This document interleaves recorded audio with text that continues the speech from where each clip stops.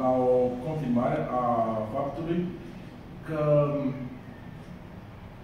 PNL-ul, PDL-ul, nu mai știu să zic, uh, plus uh, primarul Micinava, nu doresc să se facă public, sau foarte public, să fie foarte transparent cu ceea ce se întâmplă în Consiliul Local.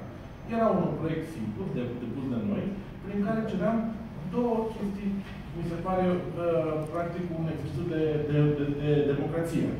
Ceea ce eu au luat, că o să fiu proiect european, că, mă rog, am, am cerut două, două chestii. Unu, transmiterea live a uh, ședințelor de Consiliul Local, ca oricine se poate să le vadă, și plus înregistrarea electronică, cu vot electronic, a fiecărui consilier cum și ce a votat.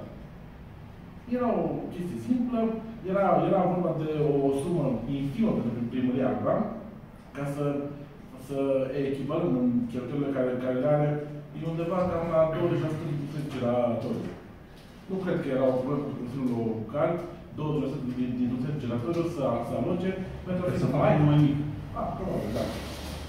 Ca să fie mai, uh, mai uh, transparent, să vadă toți cetățenii ceea ce se întâmplă și fiecare cum uh, votează. Ne, ne ascundem după vedea, că o citi, că nu vedea, că zic eu că, că, că nu este ok și sper că cetățenii din uh, municipiul Alba vor fi atenți la ceea ce s-a, ce s-a întâmplat, iar noi o să transmitem pe canalul nostru, canalul nostru de Facebook viitoarele ședințe de Consiliul Local.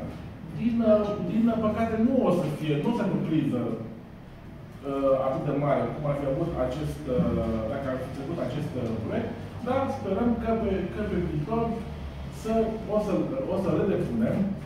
Uh, că deși au argumentat prin uh, faptul că, domnule, nu avem bani, nu avem bugetar, există rectificare bugetară, amendamentul meu era să intre cu 1 martie anul, anul viitor, astfel încât să treacă de acest an bugetar, să poate fi bugetar, să nu venim cu o, cu o rectificare în luna septembrie, să venim exact cum ar fi mers cu orice proiect de investiții, că se presupune că proiect de investiții, cele 10-15.000 de euro, cât ar fi costat acest, acest proiect.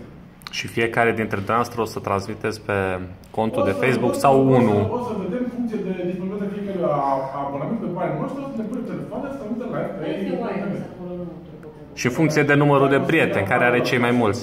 Nu? Nu, one.